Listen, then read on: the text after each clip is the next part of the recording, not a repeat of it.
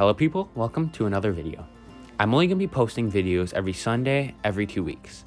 I know that I should be posting every week, but I'm unfortunately not having enough content. And I'm not always at the place where my ants are. I hope you enjoy another update on my Invicta. It has been almost a month, and I think they deserve an update. Don't you? And all I really have to say is they are getting massive. I don't feed them a lot I do feed them, but not like crazy.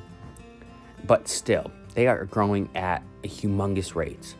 Every week when I look at them, I cannot believe my eyes. It's fascinating seeing all I can see. I've seen with other people who keep Invicta, they normally put dirt on the glass, but mine have so much brood that, that they can't even put like dirt on the glass. I'm hoping to give them an upgrade soon. Right now, I'm just really scared because one, I take off their nest, they're gonna flood out. I just wanna say that you should not try what I try in the future.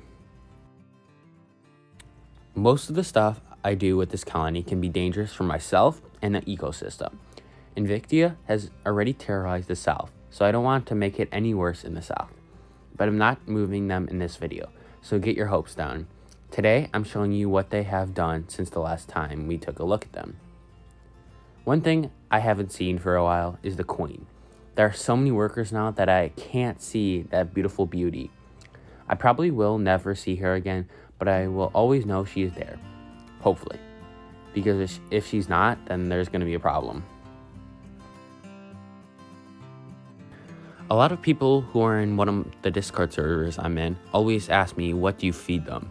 And I said at this point, if I fed them feeder insects, I'd be wasting $20 a week. This colony is very protein hungry, so I just give them meat at my house and almonds and all kinds of things that they will eat. I found that with Invicta, they don't have a problem eating whatever you give them.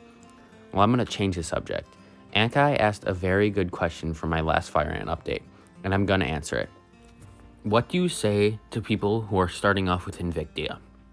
Well, um, people who are starting off with Invicta are, are stupid. No offense, it has nothing to do with you, but has everything to do with the species of ant. Normally, beginners are not prepared for the future. They only think about right now. So they normally don't think, oh, right now I have a test tube, that's all I need. That's what the YouTube video said. So when their colony gets too big, they have nowhere to put it, and so they let it go. One, this is very bad for the environment, since they are an invasive species. And two, that colony in the future could kill species you might want to keep. So for beginners, the last thing I would recommend is Invicta. Get some, something like Lasius, Camponotus, Pheidole. Just get something that's native and you should be fine. Because if you don't want have space for that species anymore, or if you don't want it, you can just let it go. Easy as that. So I think this video is pretty long. Not really, but so I hope you enjoyed, and if you want another Invicta update, you should like, subscribe, and comment any questions about Invicta.